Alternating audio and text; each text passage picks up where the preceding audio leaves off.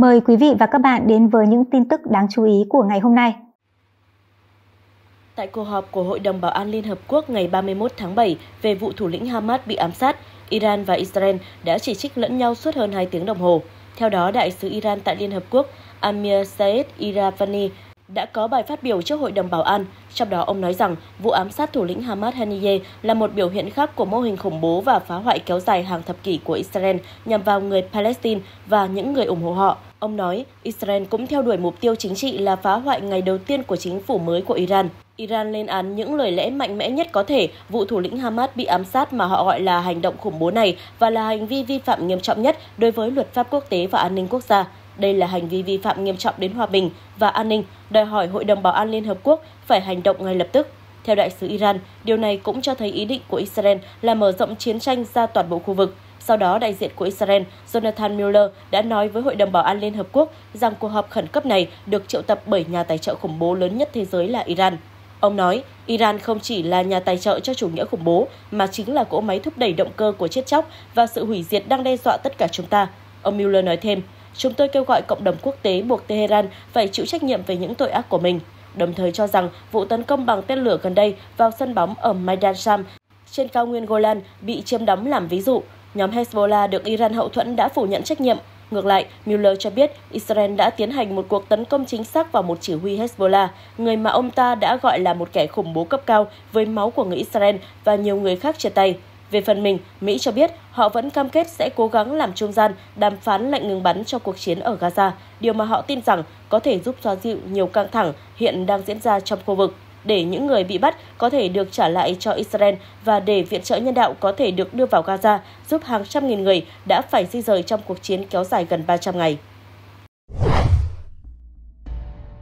Thưa quý vị, các nguồn tin của Iran và Ả Rập Xê Út cho biết, thủ lĩnh Hamas Ismail Haniyeh đã bị ám sát bằng một tên lửa dẫn đường bắn trúng vào tòa nhà ông Haniye lưu trú vào lúc 2 giờ sáng ngày 31 tháng 7 theo giờ địa phương. Hãng thông tấn Saudi Al-Hadad và hãng tin Fars của Iran cho biết, ông Haniye lưu trú tại một nơi dành cho các cựu chiến binh ở phía bắc Tehran và bị giết chết bởi một tên lửa từ trên không. Thủ lĩnh Hamas tới Tehran hôm 31 tháng 7 để dự lễ nhậm chức của Tổng thống Iran Masoud Pezeshkian, người vừa giành chiến thắng trong cuộc bầu cử hồi đầu tháng trước.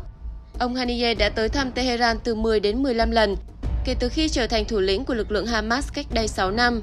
Theo phóng viên Rusdi Abualov của BBC, ông Haniyeh chắc chắn đã cảm thấy rất an toàn khi tới Iran và rằng các quan chức Hamas hiện vẫn còn bị sốc vì những gì đã xảy ra. Tuy nhiên, một quan chức cấp cao của Hamas cho biết Hamas là một hệ tư tưởng.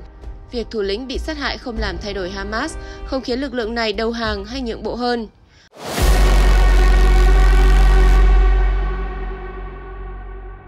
Ông Ismail Haniyeh chào đời trong một trại tị nạn ở giải Gaza vào năm 1963 và trở thành thành viên chủ chốt của Hamas ngay từ khi mới thành lập. Ông đã bị Israel giam giữ nhiều lần và có lúc bị trục xuất đến miền nam Liban trong suốt 6 tháng. Năm 2003, cùng với người sáng lập Hamas, ông đã sống sót sau một nỗ lực ám sát của Israel. Ba năm sau khi Hamas giành chiến thắng trong cuộc bầu cử, ông trở thành thủ tướng Palestine nhưng chỉ trong một thời gian ngắn, từ năm 2006 đến 2007. Được đánh giá là một người thực dụng, Ông Haniyeh được cho là đã cố gắng duy trì mối quan hệ tốt đẹp với các nhóm Palestine đối thủ khác. Ông được bầu làm người đứng đầu cơ quan chính trị của Hamas vào năm 2017. Trong những năm gần đây, ông sống lưu vong, di chuyển giữa Thổ Nhĩ Kỳ và Qatar. Ông Haniyeh đóng vai trò chủ chốt trong các cuộc đàm phán về thỏa thuận ngừng bắn ở giải Gaza. Phong trào Hồi giáo Hamas ra thông cáo cho biết thủ lĩnh nhóm này là Ismail Hayyev, đã thiệt mạng tại thủ đô Tehran của Iran trong một vụ ám sát diễn ra dạng sáng ngày 31 tháng 7. Theo hãng tin Reuters và Iranin đưa tin ngày 31 tháng 7, phong trào Hồi giáo Hamas ra thông cáo cho biết thủ lĩnh nhóm này là Ismail Haniyeh đã thiệt mạng tại thủ đô Tehran của Iran. Cùng ngày, lực lượng vệ binh cách mạng Hồi giáo Iran IRGC đã xác nhận thủ lĩnh Hamas Haniyeh và một trong số các vệ sĩ của ông đã thiệt mạng khi nơi ở của ông bị tấn công ở Tehran. Theo IRGC, cuộc tấn công diễn ra vào dạng sáng ngày 31 tháng 7, đồng thời cho biết đang tiến hành điều tra nguyên nhân. Trước đó, ngày 30 tháng 7, ông Haniyev đã tham dự lễ nhậm chức của tân Tổng thống Iran và gặp gỡ lãnh tụ tối cao của Iran. Thưa quý vị, mục tiêu trong cuộc không kích của Israel vào ngày 30 tháng 7 tại Beirut, Liban là Fuad Shuk, một chỉ huy cấp cao của phong trào Hồi giáo Hezbollah tại Liban. Theo tờ Turkey Today, nhân vật này được cho là người đứng đầu các hoạt động quân sự và là chỉ huy quyền lực thứ hai của nhóm. Quân đội Israel cáo buộc chính Shuk đứng đằng sau vụ tấn công bằng rocket và Mazdan Sham, cao nguyên Golan, khiến 12 người thiệt mạng hồi cuối tuần trước. Trong một tuyên bố đưa ra vào đêm ngày 30 tháng 7, người phát ngôn quân đội Israel Daniel Hagari cho biết Fuad Shuk đã thiệt mạng trong cuộc không kích.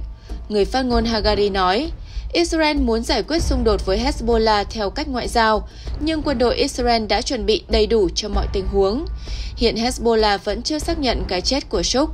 Nhiều nhà quan sát cho rằng cuộc không kích mới nhất của Israel bằng thiết bị bay không người lái vào Beirut sẽ tạo ra một nhịp độ mới trong xung đột khu vực đang diễn ra giữa Israel và Hezbollah. Fuad Shuk còn được gọi là Al-Haj Mohsin là chỉ huy cấp cao của Hezbollah, một trong những nhóm chiến binh Shia có ảnh hưởng lớn nhất ở Liban nói riêng và Trung Đông nói chung. Vai trò của Shuk trong các diễn biến lịch sử quan trọng đã khiến nhân vật này trở thành mục tiêu chính của các cơ quan thực thi pháp luật và tình báo quốc tế.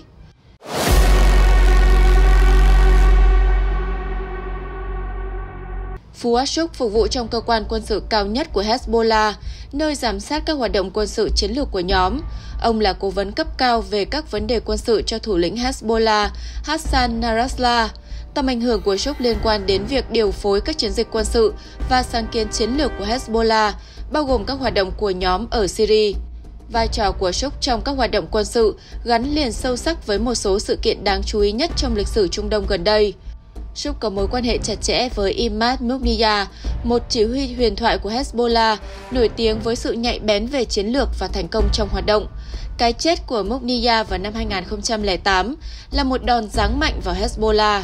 Kỳ từ đó, Shuk được coi là nhân vật chủ chốt tiếp nối di sản của Mugniya. Một trong những vụ tấn công khét tiếng nhất của Shuk khiến Mỹ treo thưởng cho những người bắt được là vụ đánh bom doanh trại thủy quân lục chiến Mỹ tại Beirut vào ngày 23 tháng 10 năm 1983. Vụ tấn công này do Hezbollah thực hiện đã khiến 241 quân nhân Mỹ thiệt mạng và 128 người khác bị thương. Vụ đánh bom là một trong những vụ tấn công chết chóc nhất vào lực lượng Mỹ và đánh dấu sự leo thang đáng kể trong các hoạt động quân sự của nhóm này. Sự tham gia của Shuk vào vụ tấn công này nhấn mạnh vai trò quan trọng của ông trong các hoạt động của Hezbollah và sự hiện diện lâu dài trong ban lãnh đạo của nhóm.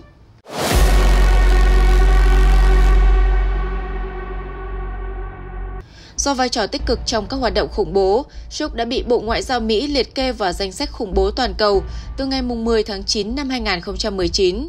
Danh sách này nhắm vào các cá nhân và tổ chức tham gia vào hoạt động khủng bố, gây ra mối đe dọa đối với lợi ích của Mỹ. Trước đó vào ngày 21 tháng 7 năm 2015, Bộ Tài chính Mỹ cũng đã trừng phạt Trúc theo sắc lệnh hành pháp 13582 vì những hành động của Trúc trong nhóm Hezbollah.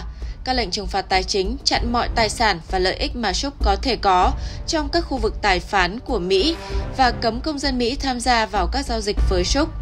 Để ghi nhận mối đe dọa đáng kể của tay chỉ huy Trúc đối với an ninh toàn cầu, chương trình Phần thưởng vì công lý của Mỹ đã treo giải thưởng lên đến 5 triệu đô la cho người cung cấp thông tin để bắt giữ hoặc kết án ông ta. Phần thưởng với số tiền lớn đã phản ánh mức độ quan tâm và lo ngại cao từ các cơ quan chức năng quốc tế liên quan đến các hoạt động và ảnh hưởng của Shuk. Nhà lãnh đạo chính trị của phong trào Hamas Ismail Haniyeh là người đối thoại chính trong thảo luận ngừng bắn và giải cứu con tin ở Gaza. Nhà phân tích chính trị và chính sách đối ngoại Barak Ravid của CNN đã cho biết sự ra đi của nhà lãnh đạo chính trị Hamas Ismail Haniyeh là hoạt động quan trọng đầu tiên của Israel kể từ ngày 7 tháng 10. Quân đội Israel đã nói với CNN rằng họ không phản đối các báo cáo trên phương tiện truyền thông nước ngoài. Sau khi truyền thông nhà nước Iran đưa tin về sự ra đi của ông Haniyeh, chuyên gia Ravid cho biết Mặc dù vị lãnh đạo này không phải là nhân vật quan trọng về mặt quân sự, nhưng ông này chịu trách nhiệm về quan hệ quốc tế của nhóm và là người đối thoại chính với các trung gian Ai Cập và Qatar về thỏa thuận ngừng bắn và giải cứu con tin ở Gaza. Nhà phân tích nói rằng vụ ám sát ông ấy sẽ có ảnh hưởng đáng kể đến các cuộc đàm phán đó. Theo Ravid, chính phủ Israel coi Haniyeh là một trong những người chịu trách nhiệm cho cuộc tấn công ngày 7 tháng 10 của Hamas và chính quyền Israel đã tuyên bố sẽ truy lùng những người chịu trách nhiệm cho vụ tấn công cách đây 10 tháng đã khiến cho Trung Đông rơi vào xung đột. Ông Ravid cũng đánh giá vụ ám sát này chỉ là vấn đề thời gian sớm hay muộn mà thôi. Một quan chức của Hamas cũng cho biết nhóm này sẵn sàng trả giá sau khi nhà lãnh đạo chính trị của nhóm Ismail Haniyeh bị sát hại tại Tehran. Theo CNN, quan chức Hamas Sami Abu Zuri cho biết Chúng tôi đang tham gia vào cuộc xung đột công khai để giải phóng Jerusalem và chúng tôi sẵn sàng trả giá, dù cái giá đó ở mức độ nào đi nữa. Trong khi đó, đài truyền hình Al-Aqsa có liên hệ với Hamas đưa tin đã có những lời kêu gọi người dân Palestine tiến hành một cuộc tổng đình công sau khi có tin về sự ra đi của nhà lãnh đạo chính trị Hamas Ismail Haniyeh. Nội dung vừa rồi cũng kết thúc bản tin của báo Việt Nam Net. Xin kính chào tạm biệt và hẹn gặp lại.